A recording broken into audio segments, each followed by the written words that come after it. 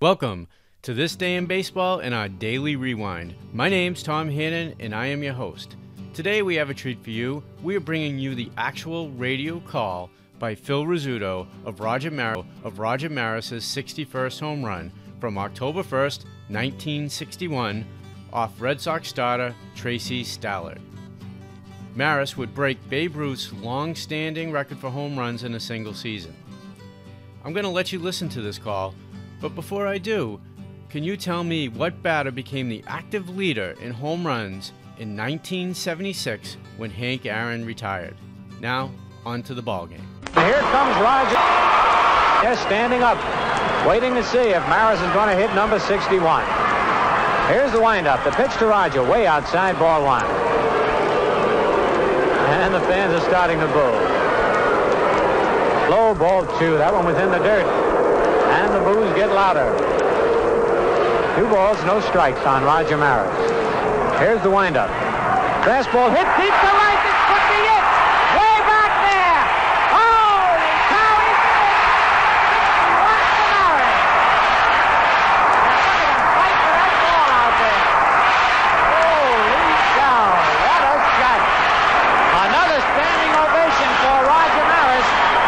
61 home runs, and they're still that ball out there. People were climbing over each other's backs.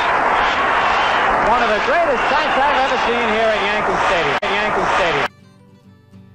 I don't know about you, but there's nothing like the energy of a radio call. I still love listening to baseball on the radio. It's a different experience than watching it on TV and listening to the announcers. After Roger Maris hit his 61st home run, there were calls for asterisks, there were calls for 154 game records versus 162, but of course, none of that ever happened. And Maris's 61 would remain a record longer than Babe Ruth's 60. Some still consider it a record, but that's a story for a different day. Now, on to the trivia.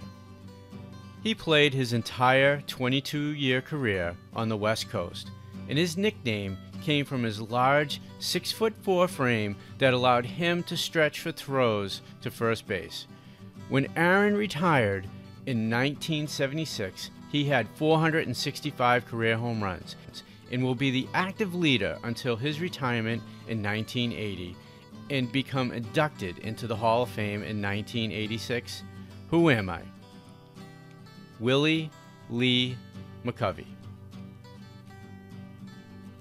If you're hungry for more, there are thousands of stories on thisdayinbaseball.com. Don't forget to ring the bell and get all our updates, and we do appreciate thumbs up and any other feedback. And if you know of any other baseball fans who'd like to hear about these stories, please share our videos with them, and we'll see you on the next rewind.